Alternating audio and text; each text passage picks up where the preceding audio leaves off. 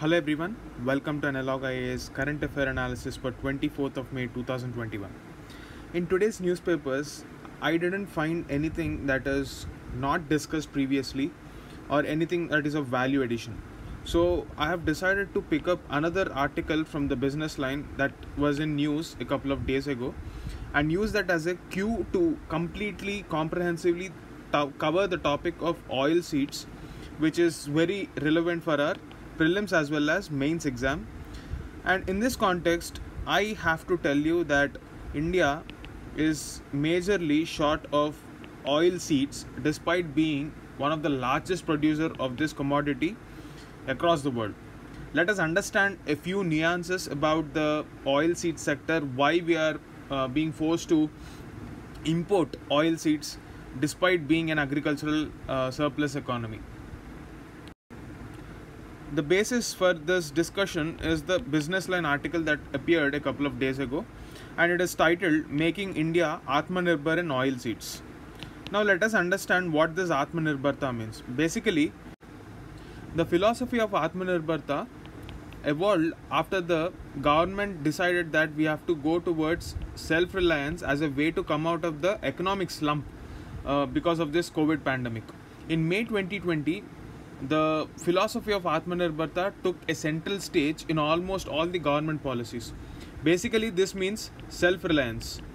So, it does not mean that we are closing our economy to the outsiders like previously in our closed economy before 1991. What this philosophy generally means is that we have to develop our capacity so that we don't depend on external agents. That is the idea of self reliance or Atmanirbharta. And this article talks about extending that philosophy to the oil seed sector as well. Now let us have a look at the map of uh, oil seed production in our country. If you take a look at this map, uh, this is with respect to uh, production area wise. Most of the trends did not change even after a couple of years. So this is actually three year old map and the data is pretty much relevant even in the present context the broad trends. You don't have to remember the exact numbers. So if you take a look at the map it is the north and northwest part of the country which produces the majority of oil seeds. And if you take a look at the southern states there is hardly any production of these oil seeds. And this is one of the major factor for regional inequality of oil seeds and therefore most of the coastal states actually import from uh, Southeast Asia because they are much cheaper. Therefore, the pattern of uh, the oil consumption varies across the country, and also the the kind of oil seeds that uh, different people consume is also different. For example, if you take a look at the states of Punjab, they consume a lot of uh, groundnut oil or uh, gingerly oil or sesame oil. And if you take a look at the east eastern part of the country th- then it is uh, again different. And in the central part of the country where soybean is majorly produced they use soybean oil castor seeds cotton seeds. And in south india we see a trend of sunflower and groundnut. So this is the pattern of oil consumption in our country. We talk about various uh, agricultural revolutions with respect to different crops for oil seeds the revolution is named as yellow revolution. So please remember these are the basic points that you have to know for your prelims exam. Despite being one of the largest producer like we've discussed we are importing a lot of uh, oil seeds and therefore india decided that we have to increase our oil seed production. So we decided to come up with certain initiatives um, and this did not go well with other WTO members who would be losing markets because India is actually producing these oil seeds. So there was a latest attack on India's ambitious plan to step up domestic oil seeds output at the World Trade Organization. According to the recent directives of the government, uh, in order to reduce the dependence on this uh, vegetable oil imports, which cost nearly 10 billion dollars every single year for our country, we uh, came up with a plan. But there is every danger that other countries might drag India to the uh, World Trade Organization and there can be a litigation. Therefore, India should ensure that the incentives are mostly World Trade Organization compliant. That is, they should be within the permissible limits. Now, what are these limits uh, set by World Trade Organization? Let us understand. So, under the domestic support clause of uh, World Trade Organization, we know that the different kinds of subsidies given are categorized as green box, blue box, amber box. We have studied this in our basic classes. So we are talking about increasing our R&D. In order to uh, actually incentivize production, we have to come up with better and efficient technologies. And for that, increasing our R&D expenditure is the first step that we can do. And that is also WTO compliant because there is definitely a need to increase public research spending in oilseed crops. And if we do that the expected result or the parameters on which this uh, research should happen is developing those tolerant varieties uh, which can have a potential area for yield breakthrough. That is you can consider there are a lot of abiotic and biotic factors which uh, actually damage the productivity of the oil seeds in our country it's a very risky business that is one reason why a lot of farmers do not risk it in southern part of the country because they have a safety net of uh, MSP, a higher MSP from other crops. Probably they will be more interested in uh, other cash crops like tobacco rather than producing the soil seeds because of the risk involved. So this R&D expenditure will come under the green box and there is no limit imposed on this. That way we'll be respecting the rules based world order as well and also solving the problem in the longer term. The second part is about how we have to incentivize smart agriculture. What do you mean by the smart agriculture? So basically if we ensure the availability of key physical and financial inputs. Now what are the physical inputs? We're talking about cheap fertilizers.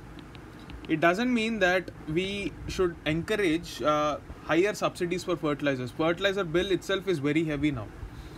What we are rather saying is move away from varieties that would require a lot of fertilizers.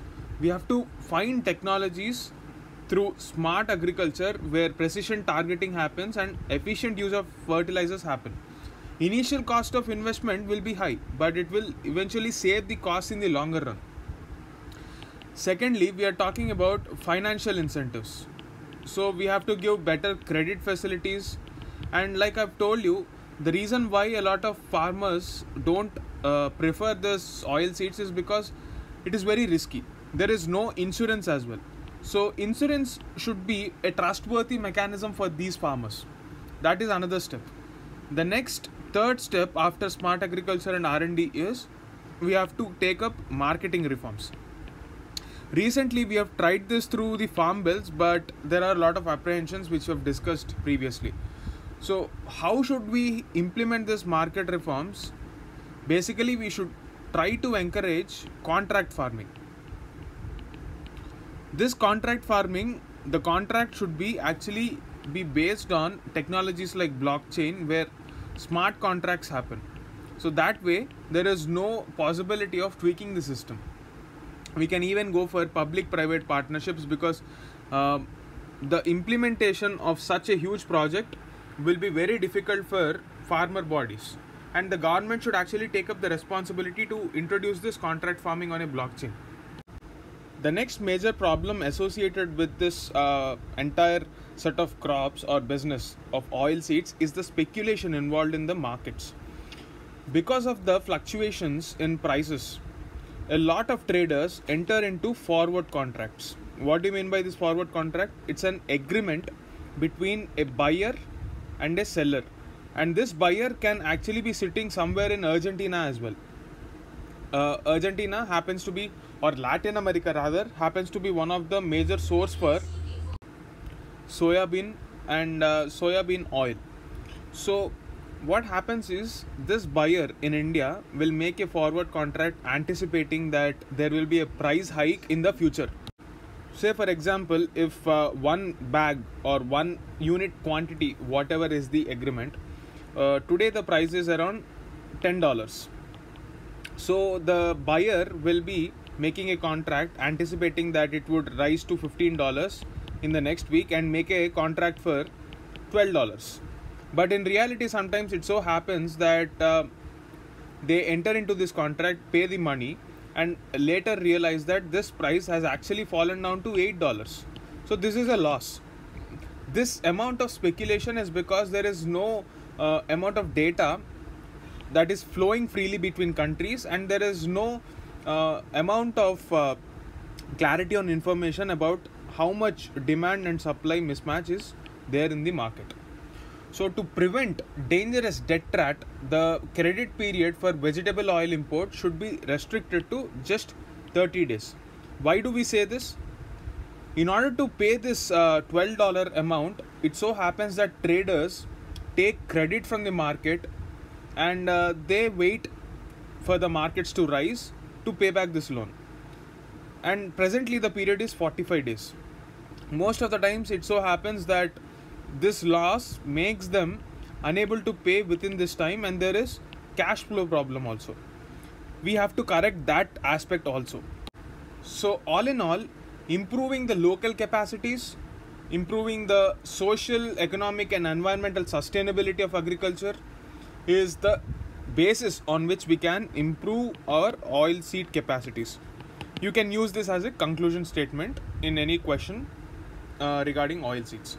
So it requires creative policy intervention and not just subsidies. If the government can actually do that it will boost oil seed production without any major financial outlay. That is the gist of this article